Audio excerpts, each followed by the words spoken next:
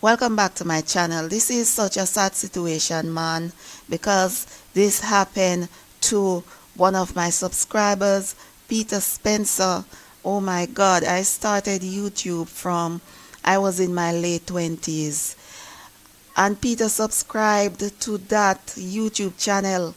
I'm in my early 40s now and Peter is was there with me all my channels. Everybody knows i start the youtube channels get them monetized and then i sold them. I stopped doing that now. I don't do that anymore.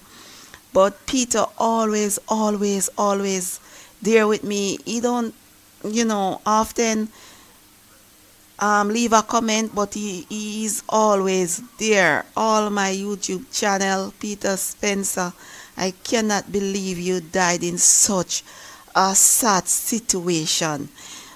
Oh my God, condolences to his family. May his soul rest in peace and justice will be served. There are calls for an arrest after a Jamaican immigrant was shot and killed in Pennsylvania earlier this month.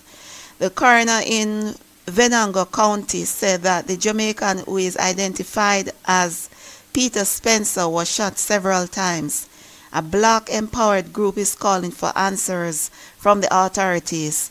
The Black Empowered Project wants answers because no charges have been filed.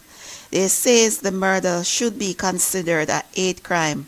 Pennsylvania State Police said a 25-year-old man was taken into custody and multiple guns were located at the scene, but no charges have been filed. The news further stated that Peter received six bullets in his chest and two into his buttocks. Oh my God.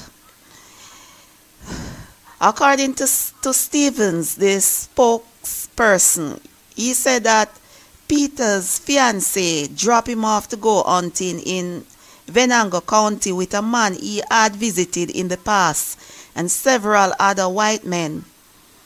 This time, he was taken directly into the woods and not this person's mother's house. So apparently Peter went hunting with this person before and you know they went to this person's mother's house. But this time now, this person along with his white friends took Peter directly into the woods and not at his mother's house. And to Peter's fiancée, she didn't feel totally comfortable with that. And less than 24 hours when she went to pick up, when she went to pick up Peter, he was dead.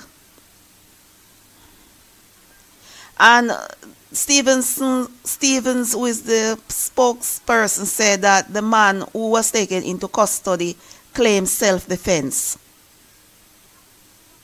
So far, police have only re released an initial report and did not include any details about the suspect or possible motive.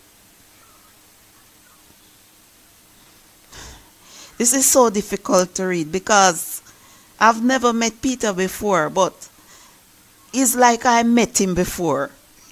You understand? That's how close we were. Man, Jesus.